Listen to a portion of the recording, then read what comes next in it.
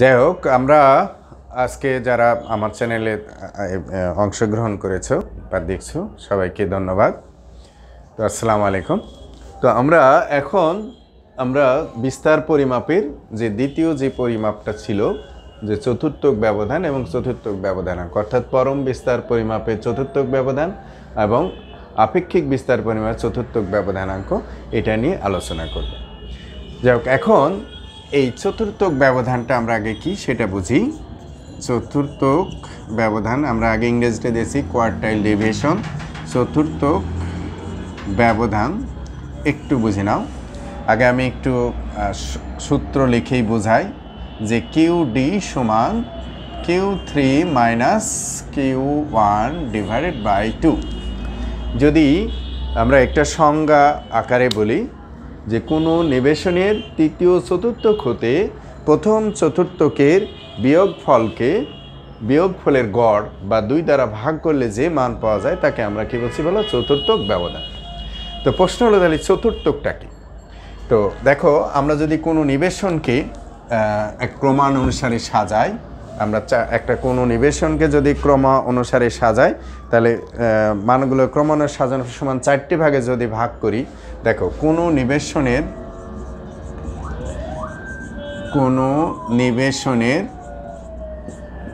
মানগুলোকে, দেখো, ক্রম বিন্যস্ত অনুসারে অনুসারে সাজানোর পর সাজানোর পর চারটি ভাগে ভাগ করলে, দেখো, তিনটি চতুর্থক, দেখো, কিউ ওয়ান, কিউ টু ও কিউ থ্রি পাওয়া যায় বা পাওয়া যাবে, ঠিক আছে?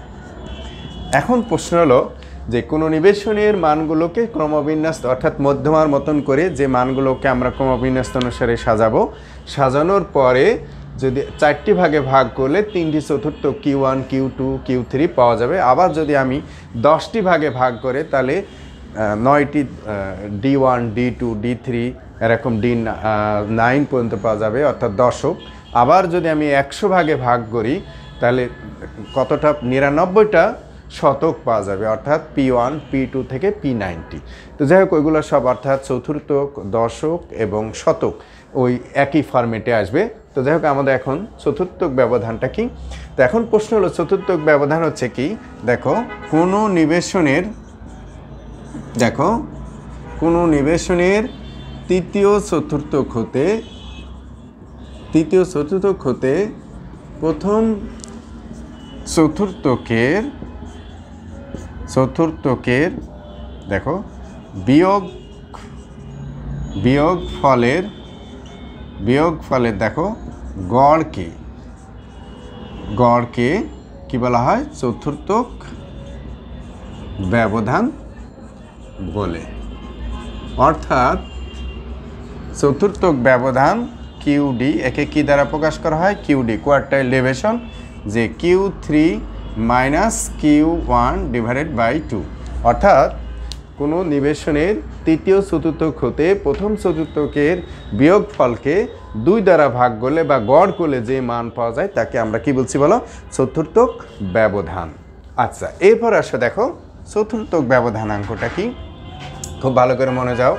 চতুর্থক ব্যবধানাঙ্ক চতুর্থক ব্যবধানাঙ্ক তো এইটা বোঝানোর জন্য আগে আমি সূত্রটা লিখি। দেখো সি কিউ ডি দেখো সি কিউ ডি আচ্ছা এখানে খুব সিম্পলি একটা ব্যাপার যে আমরা চতুর্থক ব্যবধান যখন আমরা বলেছিলাম, দেখো Q three minus Q one divided by Q three plus Q one into hundred তা আমরা ডেফিনেশনটা কীভাবে দেব?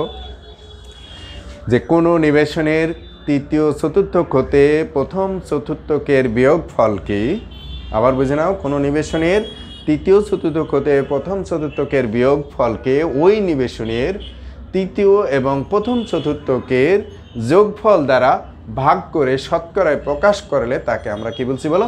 চতুর্থ ব্যবধানাঙ্ক তো সি কিউ ডি তাহলে এখানে আমরা বলতে পারি কি বলো? কোনো নিবেশনের কোনো নিবেশনের তৃতীয় চতুর্থ হতে, দেখো, প্রথম চতুর্থকের চতুর্থকের চতুর্থকের, ঠিক আছে বিয়োগ ফলকে বিয়োগ ফলকে ওই নিবেশনের নিবেশনের, দেখো, তৃতীয় ও প্রথম চতুর্থকের, দেখো, যোগফল দ্বারা যোগফল দ্বারা ভাগ করে শতকরায় প্রকাশ করা হলে করা হলে তাকে চতুর্থ ব্যবধানাঙ্ক বলে।